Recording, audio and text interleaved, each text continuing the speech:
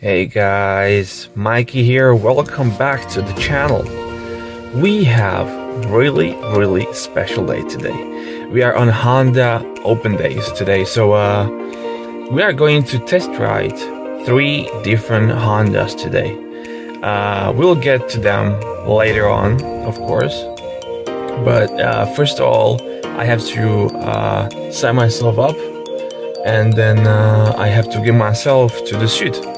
So uh, I'll talk to you later. But stick around. We have three very special special bikes for today.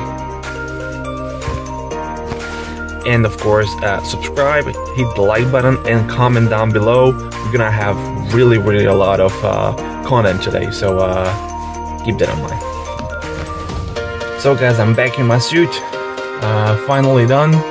So the bikes just came in here, so uh, we'll take a really, really quick look at them.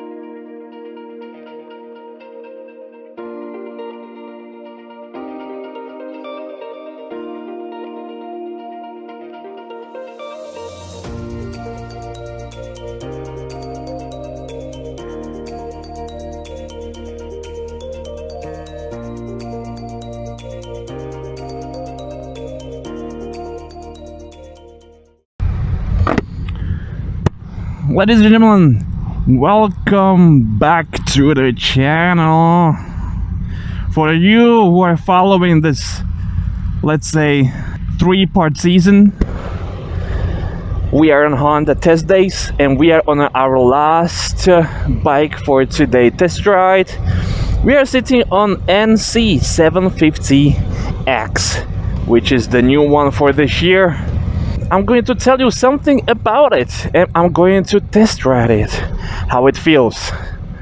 And uh, you'll understand right away why I chose this motorcycle for the test ride.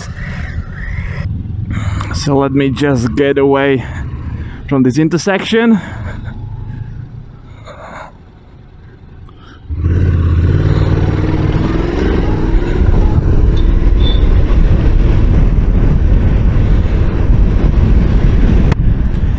And we are on the way, ladies and gentlemen.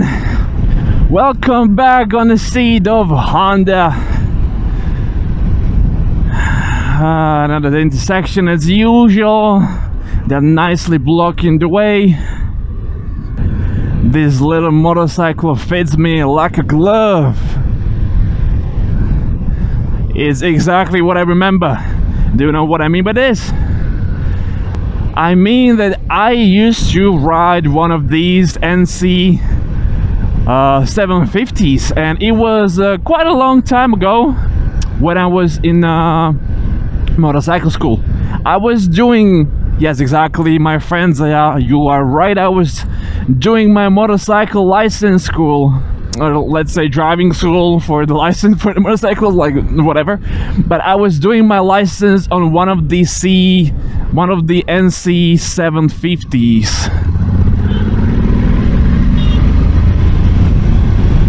i believe he is freezing and i have uh, not really a lot of space to to try it on but never mind we'll have another chance i guess. I believe let's go from rain to standard.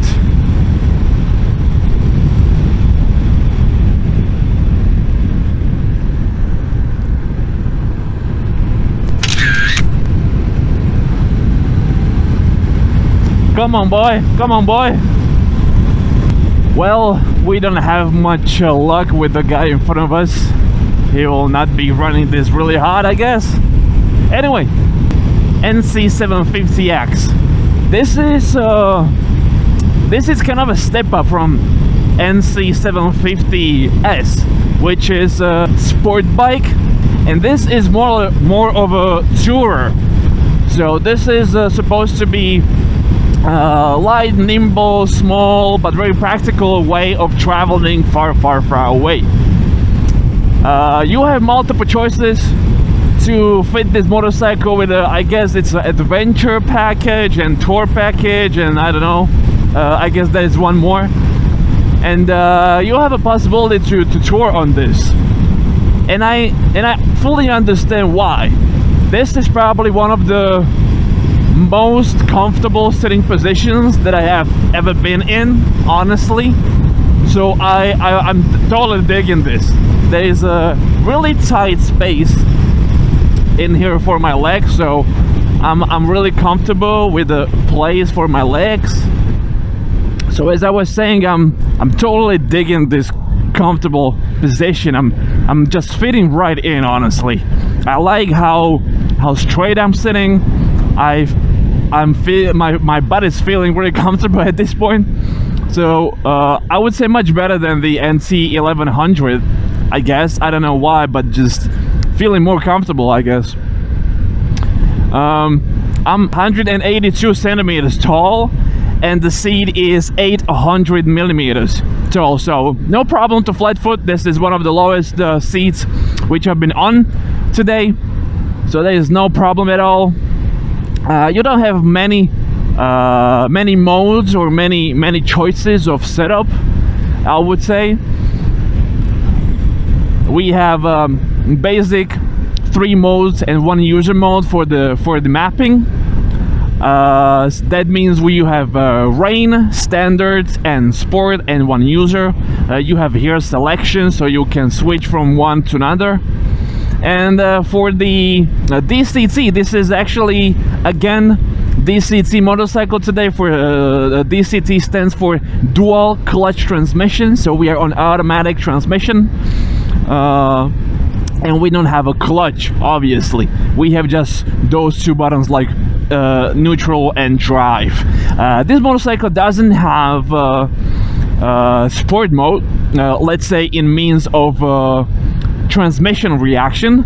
I was told it is connected through the mapping. So once you go to sport mode you actually are changing the reaction of transmission itself. On the previous model on NT uh, 1100 you had possibility to change also the mapping on the motorcycle and also the reaction of the transmission. So uh, this is more basic I'd say and uh, you don't have so many choices to choose from but still you have four different map.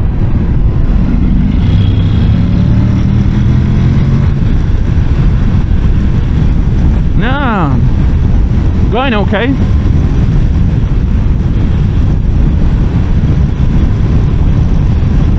This is no super sport, but yeah, really insignificant, really insignificant acceleration.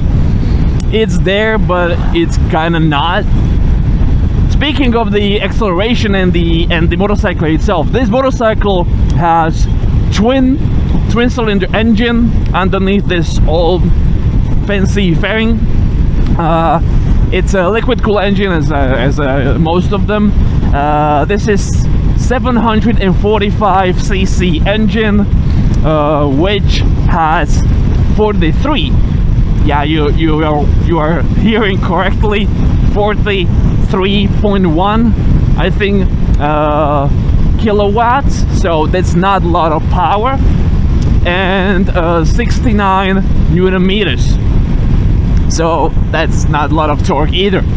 But uh, thinking about it as a as a kind of like middle class middle weight class and middle power wise class for the touring motorcycle it's uh it's it's pretty okay you know? I was doing a motorcycle license on this and I have a, and I never complained.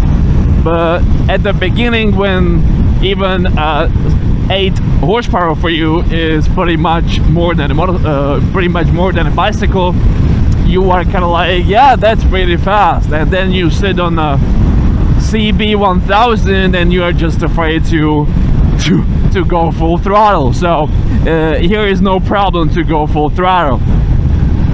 You have possibilities to change four different things in the user setup. You have power, you have engine braking, you have traction control, and that reaction of the transmission. So once you go all the way, all the way down to user, you can see blinking those four like a visual aids, and you have power, engine braking, traction control, and drive. As on previous models with DCT, you can uh, you can shift by yourself. You have little minus and here and little plus on the other side. So you can go from uh, automatic to let's say semi-automatic. So you can go to RM and you can shift. So second third fourth fourth. And it will just argue with you. So that's really nice you know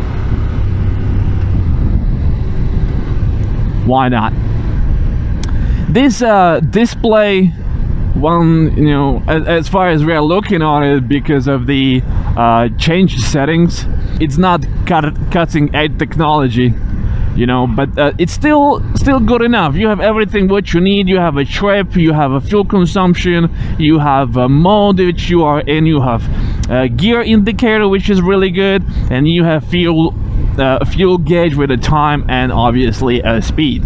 Uh, what else do you need, right? So more the information on the dash, the more you are like uh, distracted.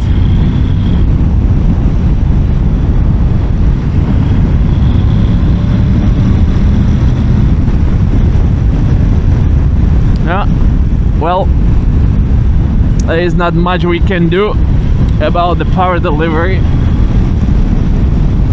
the guy in front of us is gonna ruin our day but let's just get on with it. Dash is pretty big. It, it might seem small on video but honestly it's pretty okay. I don't see any any problem with it.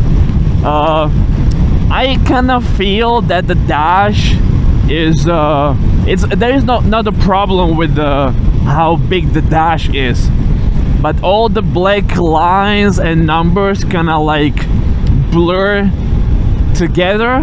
Like sometimes when it's like 101 it's gonna look like a line and it kind of looks different and you're looking like what the number is and then you realize it's a hundred and you know I, I, don't, I don't know but it seems a little messy. It's like too much things on the one on the one screen. Like something is big something is small. Like, I get it like it's a it's about the priority but yeah it's it's it's it might be confusing at, at, at first but I guess you'll get used to it okay? You'll get used to it and it's it, then it's totally fine.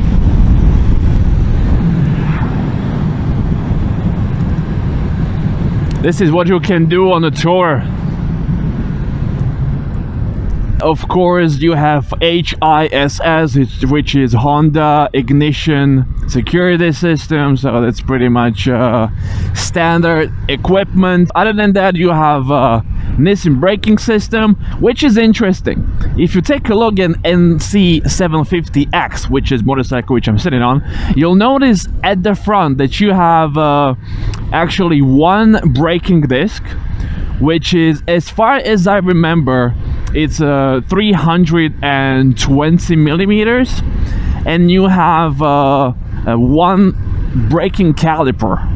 So you don't have that usual two calipers two disc setup. You have just hello.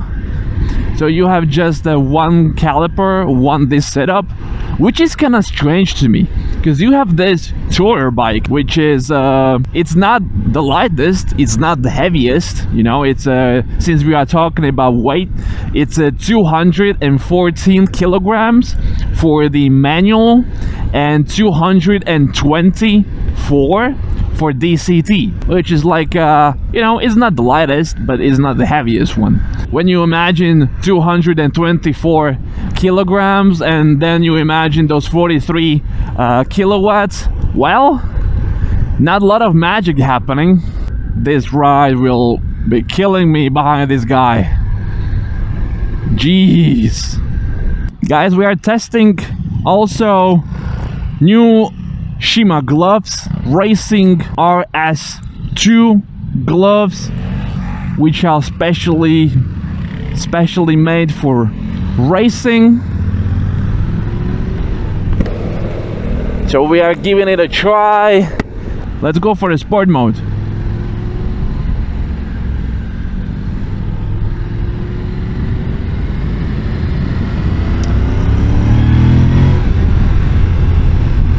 Not bad, not bad. On the sport mode, you obviously see that it's keeping the rev very, very specifically high. We are on the third gear and it, we were on second up to that hill, which previously, I guess on rain mode, we would be like fourth, fifth gear, which is like um, uh, not, not really good but we'll keep it in a sport mode because we have end of the village so I'll give you guys a little bit run from like 40 kph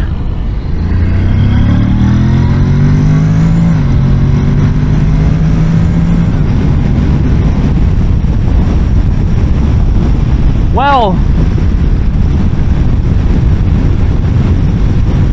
it's there like it's not it's not like lightning fast, but you cannot complain. You will overtake uh, any car, I guess, with no problems, unless it's like uphill and you are like over overtaking six cars in a row. But it's not bad, you know. It's uh, it's it's no magic in here. You have to understand that this 745cc engine with 43 kilowatt and 69 newton meters it's it's no uh, 1000 cc super sport okay? So uh, you have to just understand that. And and once you understand and you you know the purpose of this bike you will not be like uh, expecting too much.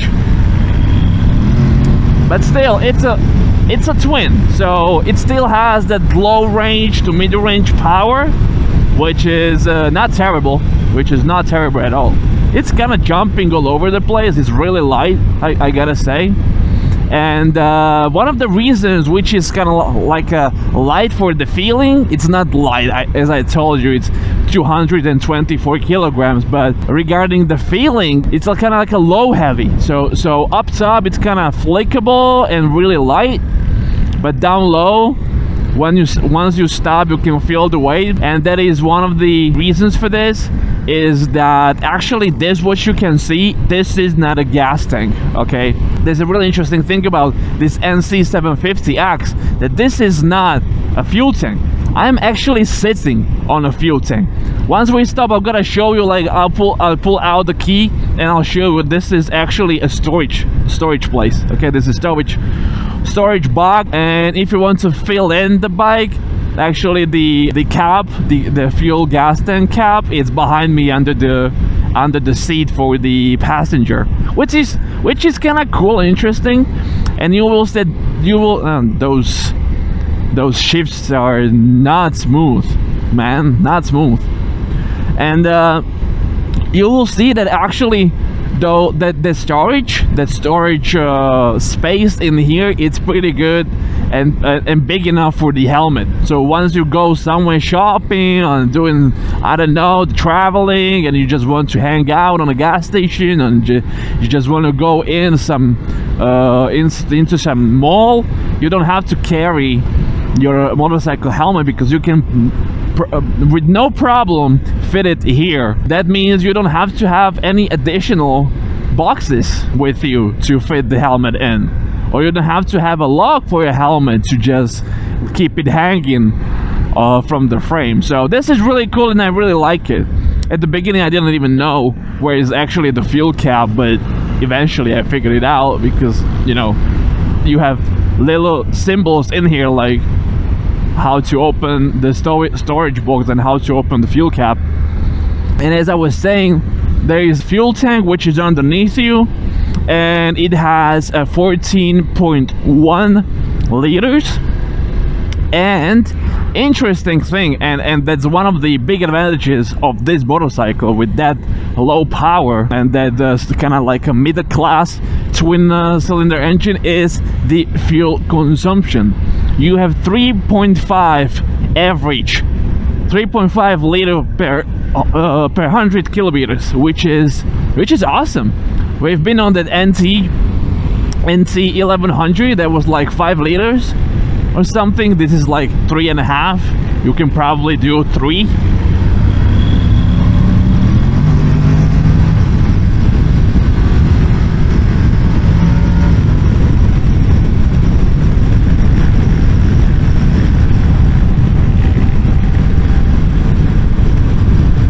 Yeah not bad not bad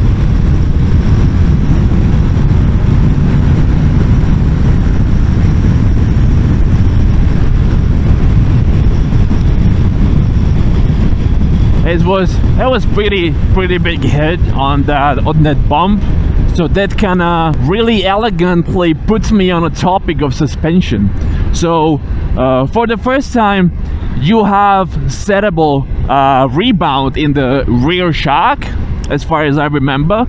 And you have uh, front forks upside uh, they're not actually upside down which is interesting thing. They're not upside down forks they're classic forks and uh, you have 41 millimeter travel if I remember correctly. And they are not settable. So those are two big downsides for me uh, when I first uh, take a look at this motorcycle. And that's uh, front suspension so front forks not being Showa might be Showa not really sure at this point but they are not upside down forks which I would expect to be uh, for this kind of class of motorcycle. I know it's still kind of like low cost tour because if you want a high cost you would go for NT or Africa or something like that. So yeah it's kind of still a, that a on budget bike let's say. Travel and you're on a budget. And that one one front brake caliper with a one brake disc. That's actually shocking to me. I wouldn't expect with a motorcycle this heavy and motorcycle with that kind of a CC engine to have one caliper front brake. That kind of like a it, kind it kind of doesn't make sense. I know it's not made for track it's not made for real sporty ride when you are kind of like uh, beating up the front brakes but still if we are doing like uh, thousands of kilometers or days or hours uh, you will be using those brakes. So still it's a it's a big surprise for me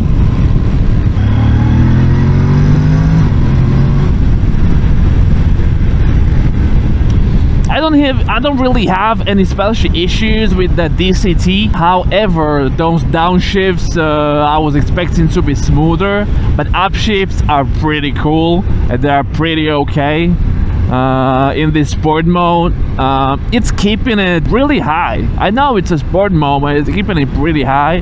So it's doing its thing I would say. So it's doing what you need it to do. So let's keep back let's keep back to standard mode. So we'll have a little bit more relaxed ride. It will be not that jerky.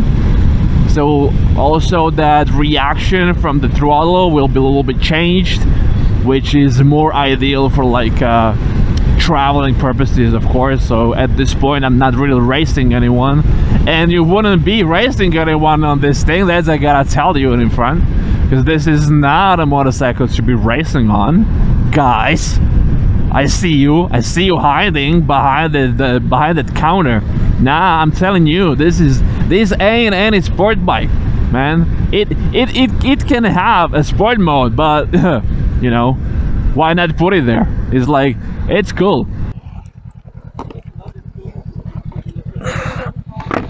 So guys as I promised NC750.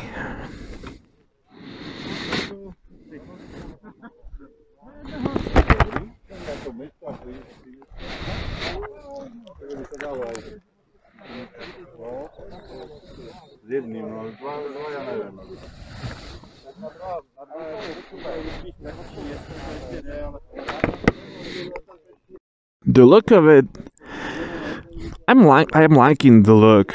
It's it's it looks really modern. It's not the prettiest thing I saw, but it's not bad either. It's pretty basic with some modern edges. But I'm digging the red. You cannot guess why, right? so the red, red motorcycle at the end. It's a it's a good choice. It's a good choice. So guys, unfortunately my battery is dying on me.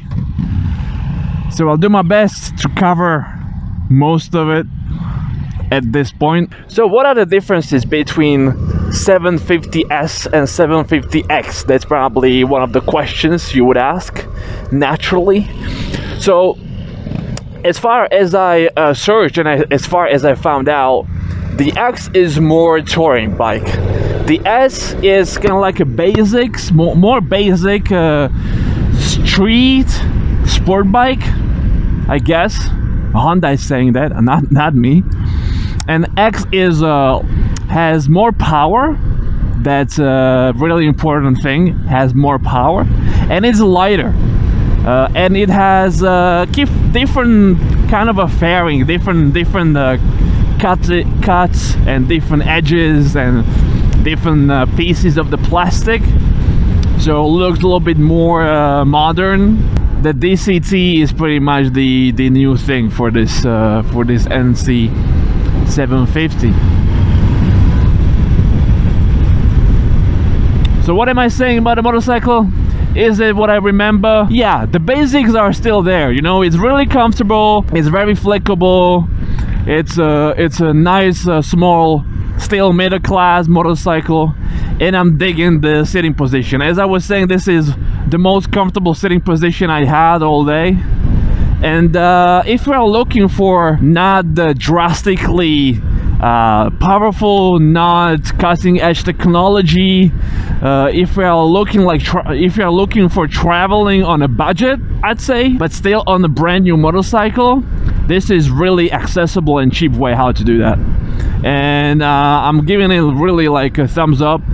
Uh, couple of people that are like, uh, nah, we're going to left, ladies and gentlemen. Uh, are afraid uh, you would go the wrong way. But yeah, whatever.